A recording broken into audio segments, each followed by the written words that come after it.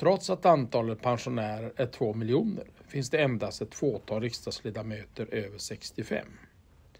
Jag tror det gör att många viktiga perspektiv saknas i riksdagen. Jag vill arbeta för att pensionssystemen ska ge alla en rimlig pension. För att fler bostäder ska byggas i hela landet för alla åldrar. För att rättskedjan ska fungera från polis, åklagare, domstolar till kriminalvården. Ge 65 plus en röst i riksdagen. Kryssa mig, Anders Ekegren.